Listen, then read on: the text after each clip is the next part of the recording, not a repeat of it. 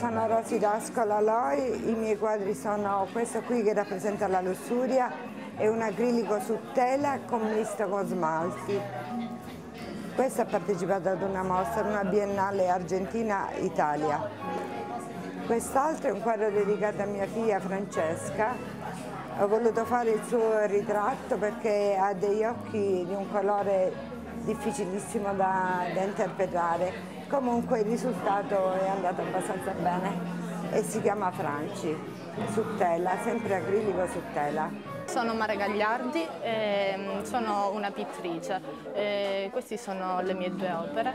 Nel primo ho voluto raffigurare il sogno, eh, appunto ho sognato di fare eh, questo tipo di, di viaggio artistico.